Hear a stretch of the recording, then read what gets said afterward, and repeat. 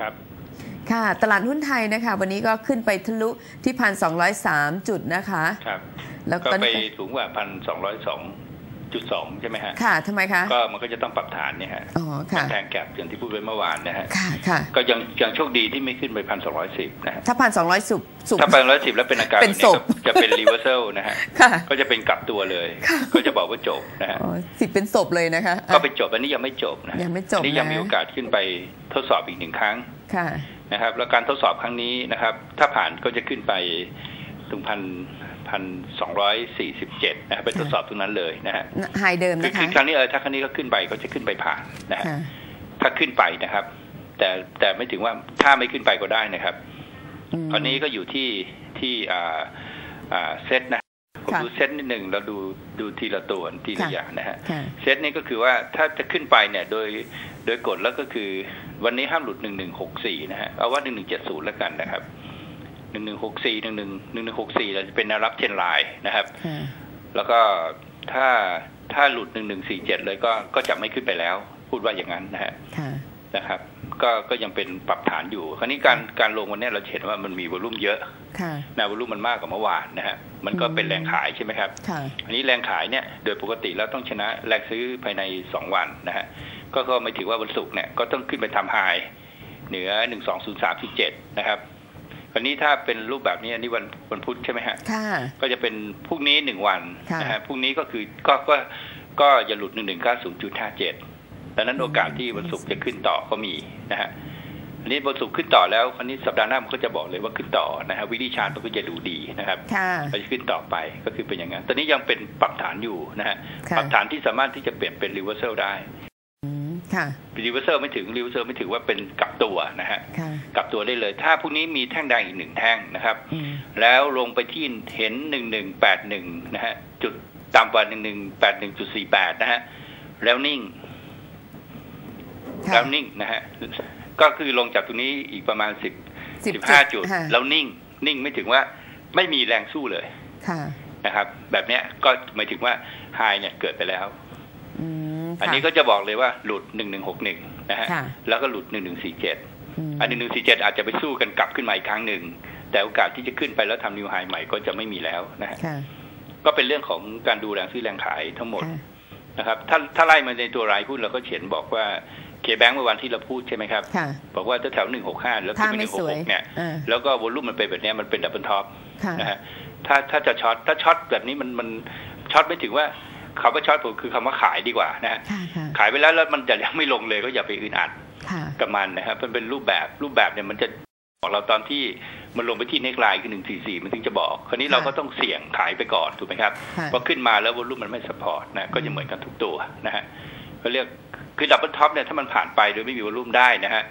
ได้แล้วถ้ามันขึ้นไปผมยกตัวอย่างว่าถ้า KBANK มันขึ้นไปถึงหนึ่งหนึ่งเก้าศูนย์นะฮะค่ะแล้ว volume เนี่ยมันมากกว่าพันหกร้อยล้านนะครับ มันกลายเป็นว่ามันสามารถนะครับไอ้ตรงพันหกร้อยล้านที่มันมากกว่าหนึ่งแปดหนึ่งหนึ่งหกห้านะครับ ที่มีพันหกร้อยล้านเนี่ยตรงนั้นมันก็จะเป็นเน็กไลน์ใหม่ค่ะเขาเรียกไหลซ้ายนะฮะค่ะก็แสดงว่าเคแบงก็มีโอกาสจะทำนิวไฮต่อไปเรื่อยๆ ถ้าจุดสูงสุดนะฮะของรอบเนี่ยมีวอลุ่มสูงนึกออกไหมฮะ สูงกว่าตรงที่สูงเดิมนะฮะค่ะอันนี้ก็มีสิทธิ์ทำนิวไฮแต่ถ้าถ้าขึ้นไปแบบเนี้ยแล้วเราไม่มีวอลุ่มนะฮะยกตัวอย่างเหมือนสุภาลัยอย่างเงี้ยนะครับค่ะก็คือโอกาสที่สุภาลัยจะทำนิวไฮต่อไปอีกได้ไหม ก็คือสุภาลัยต้องขึ้นไปทำไฮจากตรงนี้ และมีวอลุ่มมากกว่าตรงที่ผ่าน ถึงจะมีโอกาสทำนิวไฮใหม่นะครับค่ะยกตัวอย่างเดี๋ยวต้องไปดูกราฟเอาเราเราพยายามที่จะสื่อสอนความรู้ทางเทคนิคแล้วก็ให้ให้พิสูจน์ค่ะ ให้พิสูจน์กัน แล้วก็ถึงเวลาไปเรียนแล้วก็จะได้เอาไปใช้ คือผม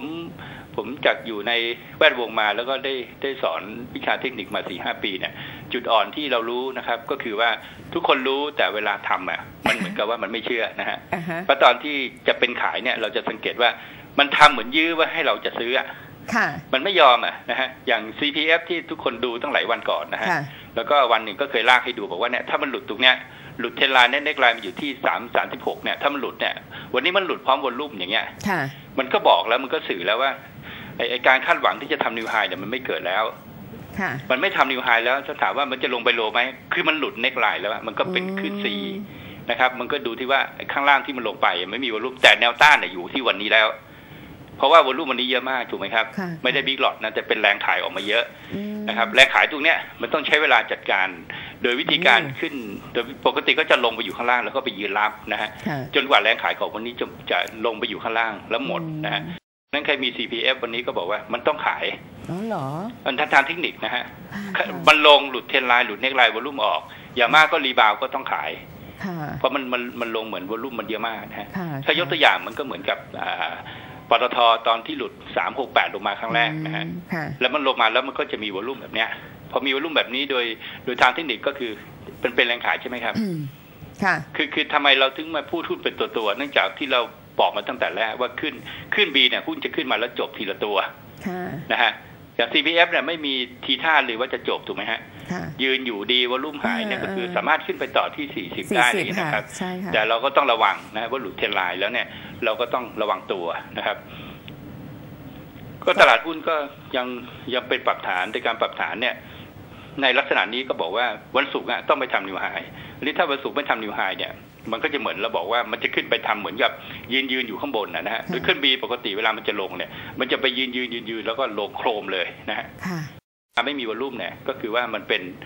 เป็นการ rebound ในแนวโน้มลงเขาเรียกว่าขึ้นขาขึ้นหลอก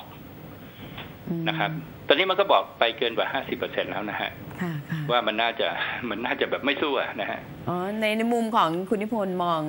มองว่าคือผมน่าจะพูดในมุมไสู้ของเทคนิคดีกว่านะฮะค่ะเพราะเทคนิคมันพูดถึงแรงที่แรงขาย แต่ในอ๋อมุมของค่ะพื้นฐานเนี่ยมันก็มันบอกว่า CPF ลงเนี่ยมันมันก็มันไม่ได้เกี่ยวกับพื้นฐานมันเปลี่ยนกำไรลดลงค่ะ ใช่นะครับกำไรลดลงก็ก็ก็ลงมารับกำไรใช่ไหมฮะค่ะใช่เขาประกาศหรือไงฮะ ไม่แน่ใจแต่จะเช็คทางนักก็วิไม่เคยัราะงห์นี่เพราะ CPF ปเช็คระกาศเช็คก็ทางต้องนักเป็นวิเดือเคนราะหห์น้าไปหมดแล้วนะฮะนะคะเขาบอกว่ากำไรเขาลดลงอะนะคะ จากข่าวที่เกิดขึ้นนะคะอ่าถูกนะฮะเพราะฉะนั้นพอเวลามันลงเนี่ยมันก็จะมีข่าวออกมาใช่ไหมฮะค่ะเป็นอินไซด์หรือไงฮะอืมต้องประกาศต้องแจ้งตลาดหลักทรัพย์ก่อนนะฮะถึงจะพูดคำนี้ได้นะฮะอ๋อเลยทุบกันสนั่นเลยนะคะเออเพราะฉะนั้นข่าวลักษณะแบบเนี้ยบางทีเราต้องบอกว่าเราอย่าไปสนใจข่าวเราดูเทคนิคเนี่ยค่ะเราก็จะสงสัยว่าตกลงมันลดจริงหรือเปล่าเพราะมันยังไม่ถึงเวลาประกาศกำไรอืมเราจะรู้ได้ยังไงเพราะ CVF ปกติก็ประกาศเด่นใช่ไหมฮะค่ะ เดี๋ยวนู้นเนี่ยถึงประกาศอะเรารู้ได้ไงใช่ไหมฮะค่ะพอพอเวลาหุ้นขายแล้วมันก็จะมีข่าวออกมาว่ากำไรทำให้เกิดปริศนา แต่ในทางเทคนิคมันบอกว่า คุณต้องออกจาก CPF ชั่วคราวค่ะนะครับ ทุกราคานะบอกอย่างนั้นอ๋อเทคนิคบอกอย่างนั้นนะครับเราเรากำลังพูดเทคนิคอยู่นะครับ แล้วถ้าประกาศจริงกำไรกลับมาล่ะคะจริงกำไรกลับมา ก็แสดงว่าข่าวนี้เป็นข่าวลวงจะลวงทำไมอ๋อลวงไปทำไมวอลุ่มหกเจ็ดพันล้านค่ะ มันไม่จำเป็นนะฮะมันอาจจะมีการพูดกันบางครั้งเวลาหุ้นลงเนี่ยมันเกิดจากแบบนี้นะครับ จริงๆไม่ใช่เรื่องที่ม่อนพูดหรอก เป็นเรื่องที่พอหุ้นลงทุกคนก็สงสัยค่ะสงสัยก็จะไปโทรไปถามกันค่ะพอไปถามกันก็บอกกำไรลดลงมั้ง อย่างเงี้ยอืมคือคือแล้วก็ลือลือลือกันไปค่ะนะครับ เพราะฉะนั้นในเวลาหุ้นลงเราไม่ต้องสงสัยว่ามันลงเพราะอะไรเราให้สงสัยว่า ให้เราดูว่าเราจะซื้อถือหรือขายค่ะการลงลักษณะที่ลงตัวเดียวแล้วมีวอลุ่มเยอะๆนะฮะค่ะคือมันเป็นขายอืม ขายแล้วยังไม่ต้องคิดซื้อนะครับอืมมันก็เหมือนที่บอกว่าไอ้วันที่ CPO มันลงมาแล้ววอลุ่มมันเยอะๆให้ทุกคนขายไปก่อนนะครับ แล้วเมื่อวอลุ่มมันหายแล้วมันยืนได้ แล้วค่อยกลับไปซื้อถูกไหมครับค่ะมันก็ไปยืนแล้ววอลุ่มหายแถวสามสามมันก็วิ่งกลับมันก็จะไซด์เวย์อยู่นะฮะอ๋อก็ก็เราเราเวลาเราเทรดเราใช้เทคนิคนะครับเราจะไปคิดถึงเรื่องกำไรของมันค่ะคือเรากำลังไปคิดถึงพื้นฐานเวลาเราซื้อขายหุ้นเนี่ยไม่ใช่เวลาเราจะซื้อขายหุ้นเราต้องใช้เทคนิคในการซื้อขายหุ้นนะครับค่ะใช้วิชาให้ถูกนะฮะ พื้นฐานก็ก็เป็นพื้นฐานมันเป็นเรื่องป้องกันความเสี่ยงว่า ถ้าค่ะเราไปซื้อ CPF แล้วเนี่ยนะครับ เราเรายังไงเราก็ไม่ได้หมดตัวนะครับ เพราะค่ะว่าธุรกิจเขาดีนะครับค่ะเขามีธุรกิจมั่นคงที่สร้างมาตั้งนานนะครับค่ะแต่มันอาจจะเกิดเอ่อเหตุการณ์อะไรที่ผิดปกติ เพราะว่าเนื่องจากมันเป็นธุรกิจที่เกี่ยวข้องกับเกษตรเกษตรที่เกี่ยวข้องกับสภาวะอากาศนะฮะค่ะสิ่งที่ผิดปกติมันสามารถที่จะเกิดขึ้นได้เสมอ ผมยกตัวอย่างว่าไข้หวัดนกค่ะอย่างเงี้ยอะไรพวกเนี้ยมันสามารถเกิดได้อ่าซึ่งอย่างเงี้ยค่ะมันก็เป็นอุบัติเหตุค่ะ ที่เกิดขึ้นได้หรือว่าเกิดค่ะภัยแล้งไม่สามารถที่จะผลิตอาหารสสัตว์ได้อะไรเงี้ยนะครับค่ะเนี่ยพวกเนี้ยมันจะเป็นความเสี่ยงทางด้านดินฟ้าอากาศของธุรกิจพวกนี้เยอะค่ะนะครับค่ะ มีหุ้นที่ต้องถามพี่เลย เพราะว่าเป็นครับหุ้นที่นักวิเคราะห์ก่อนหน้านั้นได้แนะนำไว้ คือปตทแล้วก็ปตท G4 ทางด้านเทคนิคของพี่เนี่ยน่าจะอยู่ที่บริเวณไหนผมคะให้แถวๆแถวหกสิบนะฮะค่ะส่แนวนวปตต้านทเนี่ยพอมันผ่านสามสามสี่นะฮะค่ะสามสามสี่เป็นสามสามหกแล้วเนี่ยนะครับ อ่าพรุ่งนี้นะครับปตทก็มันก็คือต้องต้องต้องไป วันนี้ปตทวอลุ่มก็พันสองก็ยังสามารถขึ้นต่อไปได้นะฮะค่ะถ้าตลาดจะประคองขาย CPF อยู่อืมนะครับก็ก็ต้องเอาปตทขึ้นไปนะฮะค่ะที่สามสี่ศูนย์อะไรทำนองเนี้ยอ๋อแต่ค่ะสามสี่ศูนย์ก็จะเจอแนวต้านอย่างแรงมาก เพราะฉะนั้นเนี่ยเราอาจจะขายไปขายไปก่อนก็ได้ ขายบริเวณก่อนสาขายมบสี่ริเวณศูนย์แถวๆเนี้ยเพราะว่าเพราะว่าเขาเราเราต้องต้องดูว่าข้างแรกลงไปสามร้อยค่ะขึ้นมาสามสี่ศูนย์ลงไปสามหนึ่งศูนย์นะฮะห รือถ้าตอนเราจะไล่อย่างนี้ก็ได้สามหกแปดนะฮะแล้วก็ลงมานะครับ แล้วก็ลงไปทำโลนะฮะค่ะครั้งที่สองลงไปทำโลตอนนี้ยังยังเสมออยู่เพราะฉะนั้นเนี่ยตอนนี้น่าจะออกกลางน่าจะออกสามสามเจ็ดอะไรเงี้ยอื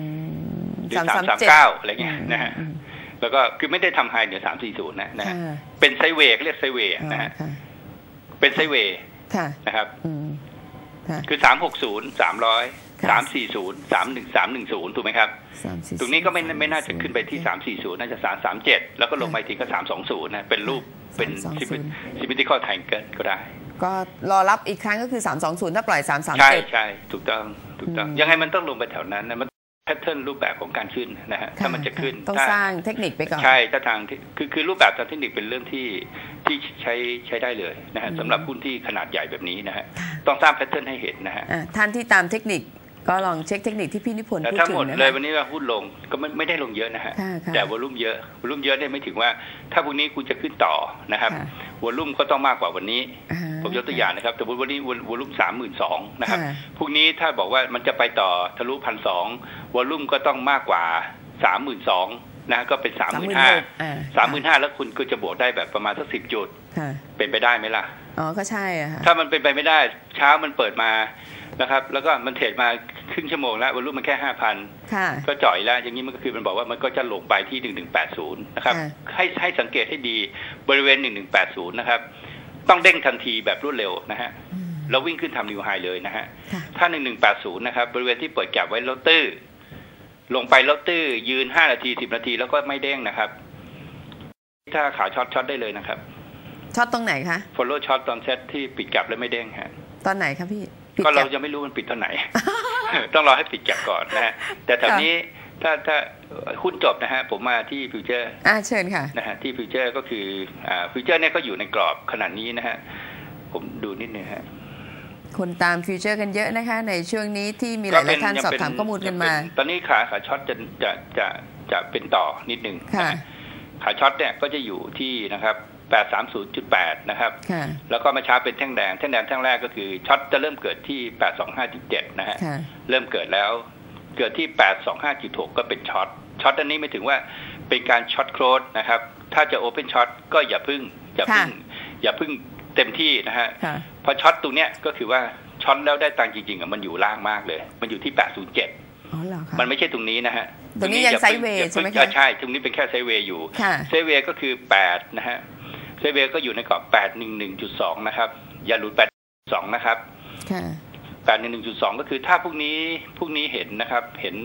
ต่ำกว่า 818.7 นะ ก็จะเห็น 811.2เห็นไหมครับค่ะมันบอกทีละ step นะฮะค่ะก็กลายเป็นว่าตอนเนี้ยถ้าใครใคร short มาตั้งแต่เมื่อเช้าก็ถือต่อถูกไหมครับค่ะหรือใคร short ตรงนี้ก็เบสเบสเขาเรียกเบสเสี่ยง short ค่ะเบส short ก็เป็นการเป็นเด้ง เมื่อกี้มันลงมา 822 ใช่ไหมครับค่ะ822 นี่ก็จะเป็นโชว์พรุ่งนี้เลยพรุ่งนี้ถ้าเห็น 822.4 เนี่ยนะฮะ ก็โอเคละ 8 ลงลงแน่นะฮะ ลงไปแถวๆที่ผมบอกนะฮะค่ะ ก็จะเป็นเป็นเป็นเป็น short นะครับ แล้วก็อ่าถ้าเห็น827.9นะครับ โอกาส long ถึงจะกลับมาอีกทีหนึ่งค่ะนะครับ อาจจะเห็นตอนวันนี้ก็ได้อะไรก็ได้นะครับอ๋อถ้าเป็นพระว่827.9ยังมีดิชาอยู่ค่อนข้างที่จะเยอะนะฮะแล้วตลาดก็ค่ะเป็นไซด์เวย์นะครับค่ะเป็นลักษณะที่ยังสู้กันอยู่นะครับค่ะ short มากกว่า short มากกว่า long นะฮะค่ะ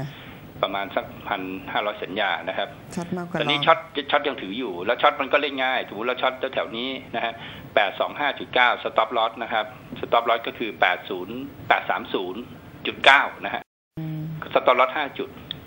ค่ะนะครับคือทนได้ห้าจุดนะค่ะถ้าทนได้ ถ้าทนได้ทนได้น้อยนะครับ สมมติเราทนได้สามจุดแปดสองเจ็ดจุดแปดค่ะเห็นแปดสองเจ็ดจุดเก้าก็ stop loss นะฮะ stop loss มันแล้วแล้วมันก็อาจจะ stop เสร็จมันก็วิ่งสวนขึ้นไปเลยก็ได้อ๋อ นะเพราะ stop loss ใกล้ไปอ๋อค่ะนะครับสรุปว่าเป็นไซด์เวย์แต่แนวโน้มเนี่ยเป็นการปรับฐานยังไม่จบค่ะการปรับฐานพวกนี้ถ้าลงอีกแล้วลงแรงเลย ก็หมายถึงว่า เฮ้อจบเฮ้อเฮ้อไม่เฮ้อนะไม่ไม่ไม่ไม่เดี๋ยวไปต่อค่ะ ไม่เพราะผมก็ได้ยินว่า ก็เปลี่ยนเป้ากันนะฮะค่ะแต่จริงๆพันสองเนี่ยเราไม่ควรเปลี่ยน ค่ะคือเราไม่ควรเปลี่ยนเป้าที่พันสองจนกว่าเราจะเห็นนะฮะจนเห็นการความแตกต่างของมันนะครับค่ะ เพราะว่าการไปเปลี่ยนเป้าในขณะที่คนเขากำลังต้องการที่เขาตั้งใจมาจะขายที่พันสองอะค่ะถ้าเราไปเปลี่ยนเป้านะฮะเราก็จะทำให้คนเขาเฟ๋นกออกไหมฮะอ๋อเราอย่าไปเปลี่ยน แต่เราสามารถอธิบายทางเทคนิคที่เป็นเพียวเทคนิคแบบเนี้ยค่ะให้เป็นเป็นลักษณะของการให้ความรู้ค่ะกับนักลงทุนโดยไม่ได้ค่ะชี้นำค่ะนะครับ มันก็เป็นการให้ความรู้กับกับนักลงทุนจริง ๆ นะฮะใช่ค่ะแล้วก็ถ้าทั้งหมดทุกคนเนี่ยมีความรู้ไปในทางเดียวกันทั้งหมดเนี่ยค่ะตลาดอย่าอย่า อย่าอย่ากลัวว่าไม่เกิดการซื้อขายนะฮะค่ะ ตลาดจะมีวินัยมากขึ้นค่ะอย่างวันนี้เราจะเห็นว่าตลาดหุ้น stop ที่ขึ้น loss มารอบนี้ค่ะหลังจากที่ม่อนไปคอมเพลนใครก็เยอะแยะนะฮะไม่ได้ไปว่าใครรับฟังจะค่ะเห็นรับว่าฟังตลาดค่ะหุ้นเนี่ยนะฮะมันก็ค่ะจะเป็นอะไรฮะเป็นเป็นเหมือนกับเป็นแบบเป็นไปตามอ่าปัจจัยพื้นฐานนึกออกไหมฮะมันต้องอเป็นย่างปัจนั้นจัยที่มากระทบอย่างค่ะยุโรปวันนี้เขาก็ไม่ได้ลงเยอะทำไมคุณค่ะต้องลบไป 20 จุด มันไม่มีเหตุผลค่ะแต่ถ้าพรุ่งนี้ยุโรปเขาลงนะฮะ เขาลงต่อไปคืนนี้ดาวโจนส์ลงไปร้อยหนึ่งนะครับ เรื่องเก่าออกมาอีกนะอิตาลีของขึ้นไม่ยอมเลยแล้วแต่นะฮะฝรั่งเศสก็โผล่มาแล้วฝรั่งเศสก็โผล่มาอีกแล้วนะครับอืมแบบเนี้ยแล้วมันลงไปแล้วเขาก็ลงกันนะค่ะเขาลงกันเขาลงกันสองเปอร์เซ็นเราลงหนึ่งเปอร์เซ็นเพราะเราพื้นฐานดีกว่าเขาใช่ไหมค่ะอย่างเงี้ยมันก็มีเหตุมีผลเออในการที่จะอธิบายอ่านักลงทุนขาใหญ่กองใหญ่ ๆ ก็ดูสถานการณ์ เพราะนักลงทุนไทยก็ฉลาดมากขึ้นแล้วนะคะก็จะเห็นว่าค่ะในในภาพจริงๆวันเนี้ยเราค่ะในการลงทุนของเราอะ เราไม่ได้แพ้ต่างชาตินะครับค่ะเพราะว่าพูดถึงนักลงทุนรายใหญ่ หรือแต่ว่าเงินเขาหนากว่าเขาทุบหรือเออใช่ทุบตีตลาดแต่ไม่รู้ได้ง่ายใครกว่าตังค์มากกว่าใคร ผมผมค่ะพูดตรงๆนะครับค่ะว่าตังค์เราเนี่ยตังค์เราเนี่ย ผมถ้าผมคิดเองนะครับค่ะผมว่าตังค์เรามากกว่าเขาอ่าตังค่ะค์เรามากกว่าเขานะครับ ผมพูดถึงยุโรปนะฮะค่ะแต่ถ้าอเมริกาเนี่ยตังค์เรายังไงก็เทียบเขาไม่ได้เพราะเขาผลิตเงินเอง ใช่ แต่เราเนี่ยเราได้เปรียบเราค่ะได้เปรียบในแง่ที่ เราเสียเปรียบในแง่ที่เราเล่นสั้นไปอืม ถูกไหมครับค่ะคนที่ได้เปรียบมากที่สุดเนี่ยที่เล่นทนหน่อยเล่นเล่นยาวเนี่ยก็คือเจ้าของหุ้นแค่นั้นเอง ถ้าพูดถึงนักลงทุนทั่วไปนะฮะค่ะแต่ถ้าเป็นเป็นนักลงทุนเป็น investor อย่างแมงเม่าอย่างพวกเราเนี่ยก็ค่ะคือ ถ้าเล่นสั้นจะเสียเปรียบค่ะนะครับอืมทำนองเนี้ยเพราะฉะนั้นมันเดี๋ยวมาดู future นิดนะครับอ่าผมตลาดคิดว่าในกรอบมันเนี่ยก็คือกรอบเราดู 811.2 นะครับ กับ 8 830.8 อันนี้เป็นกรอบใหญ่นะฮะแต่กรอบสั้นเลยนะครับ ก็เป็น 820.3ค่ะนะฮะ820.3 กับกับ อ่า827.8นะฮะยังเป็นสั้นอยู่นะฮะไม่ยังยังยังไม่เป็ไม่นนะยาแต่ถ้าววันนี้เดี๋ยวปืดลงมาเลยแล้ววันนี้นะครับ แท่งนี้นะฮะแล้วฟิวเจอร์ลงมาต่ำกว่า 822.5นะฮะสมมุติว่าเห็น 822.1อะมันจะ confirm ว่าพรุ่งนี้นะฮะมันจะโดดลงอ๋อมันจะลงไปถึงที่ผมบอกนะฮะค่ะอืมอืมได้มันยังตาไม่จบนะครับตามมันต้องดูตัวเลขปิดตลาดนะฮะค่ะ ตลาดก็กำลังอ่า ATC อยู่ส่วนทองคำก็เมื่อวานที่บอกว่ามันจะขึ้นไปแถวหนึ่งหกสามกว่าใช่ไหมฮะค่ะแล้วก็จะต้องเป็น short นะฮะค่ะมันก็ลงแล้วนะฮะน้ำมันเมื่อวานบอกมันต้องขึ้นใช่ไหมครับมันก็ค่ะขึ้นแล้วมันขึ้นแล้วมันก็จะปรับฐาน แล้วปรับฐานตอนนี้ก็ยังบอกว่ายังยังขึ้นต่ออยู่นะครับยังไม่น้ำมันว่าปรับฐานแล้วจะลงนะฮะค่ะแต่ถ้าถ้าที่ที่ดูไม่ดีวันนี้ก็คือ ในเยอรมันน่ะดูว่าลงไม่เยอะนะฮะค่ะแต่ตอนลงก่อนลงมาเนี่ยไม่ได้เขี่ยหายไว้ค่ะเพราะฉะนั้นมันก็บอกว่าวันนี้อย่าแท่งยาวนะ ค่ะแล้วแท่งยาวแล้วพรุ่งนี้มันจะลงต่ออีกค่ะเราตามไปดูเป็นสเต็ปสเต็ปเพราะว่าการแก้ปัญหาอะไรก็แล้ว แต่พอมีข่าวขึ้นมาเนี่ย มันไม่ใช่ไม่ถึงว่าเงินมันมาแล้วมันแก้ได้เลยค่ะหรือว่ามันจบเลยก็ค่ะยังมีคนเชื่อบ้างไม่เชื่อบ้างอืมมีคนออกข่าวลือบ้างนะฮะต่อต้านบ้างอะไรก็แล้วแต่แต่มันจะเป็นเป็นเป็นเรื่องธรรมชาติของค่ะ ของตลาดหุ้นทั้งโลกนะฮะค่ะได้คือปล่อยข่าวหลอกคนอื่นนะเอาเอาว่ากันไปเงินใครใหญ่กว่า ก็ระมัดระวังลดค่ะน้ำหนักการลงทุนนะครับค่ะแล้วเดี๋ยวเอ่อผมคิดว่าถ้ามันขึ้นไปพันสองร้อยห้าสิบก็ไม่ใช่เวลาที่จะไปเพิ่มน้ำหนักนะฮะมมมต้องรอให้มันปรับฐานลงมาเลยค่ะรอรอรอเข้าไปเพิ่มน้ำหนัก ใจเย็นๆพี่พี่นะครับท่เราจะขายไปออแล้วมันวิ่งขึ้นไปเราก็อย่าไปเสียใจค่ะแล้ไม่วเดี๋เป็ยนวไรเราลงเนาะมาเราได้รับตังค์เก็บไว้ดีกว่านะใช่เอาเงินเก็บไว้เออสักครึ่งหนึ่งหรือค่ะเจ็ดสิบเปอร์เซ็นต์แล้วมันลงมาข้างล่างเราก็มาซื้ออืมอซื้อแล้วก็กลัวๆแล้วเดี๋ยวก็ขึ้นมาสิบเปอร์เซ็นต์แล้วก็ขายไปค่ะเพราะเพราะตอนพูดตอนนี้มันเป็นเป็นเป็นลักษณะแบบนี้จริงค่ะๆนะครับอืมได้ค่ะ พี่ขอบคุณนะคะครับผมสวัสดีครับค่ะค่ะ